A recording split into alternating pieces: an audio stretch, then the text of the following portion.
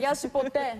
Λοιπόν, πάμε στην ε, Ζέτα Μακρυπούλια και σε μία από τις σπάνιες συνεντεύξεις που δίνει. Γιατί η Ζέτα πια, να το, να το λέμε και αυτά, παλιότερα ήταν, την έβλεπες πολύ συχνά να μιλάει, πια δίνει ελάχιστες και επιλεκτικές συνεντεύξεις. Και την έχουμε στο εξώφυλλο του Πίπλου που κυκλοφορεί αυτήν την Κυριακή, Μαρίνο μου. Ναι. Μέσα από το φακό Κατερίνα της φίλης της, της Και κολλητή κουμπάρας της της, φίλης και βεβαίως. κουμπάρας Κούκλα είναι. Ρούλας Ρεύη. Ε, η Ζέτα Μακρυπούλια μίλησε στη Σόνια την Καζόνη και για, για λογαριασμό του περιοδικού People και εξήγησε για ποιο λόγο πλέον κάνει επιλεκτικές συνεντεύξεις. Τι είναι αυτό που την κούρασε με τις συνεντεύξεις.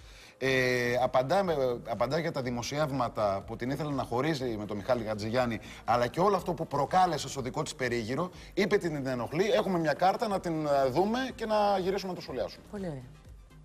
Τηλεοπτικά φέτος έχεις δώσει μόνο μία συνέντευξη στο Γρηγόρη Αρναούτογλου. Φαντάζομαι λόγω της παλιάς σας φιλίας. Και λόγω παλιάς σχέσης, αλλά και γιατί του το είχα υποσχεθεί πέρσι. Για προσωπικούς λόγους δεν μπόρεσα να πάω. Έτσι του υποσχέθηκα πως θα πάω στην πρώτη του εκπομπή την επόμενη χρονιά. Έπαιξαν ρόλο και τα αναλυθή δημοσιεύματα στην αρχή της σεζόν που έλεγαν πως χωρίσατε με τον Μιχάλη. Ναι, έπαιξαν. Αλλά αυτό που έπαιξε ρόλο πιο πολύ είναι πως εγκλωβιζόμουν μέσα σε αυτή την κατάσταση και δεν ένιωθα ελεύθερη όταν έδινα μια συνέντευξη. Από το να μην νιώθω ελεύθερη στη σκέψη πως ό,τι και να πω θα γυρίσει σε κάτι προσωπικό και να βγαίνω τελικά μαζεμένη και κλειστή, είπα ας μην δίνω συνεντεύξεις.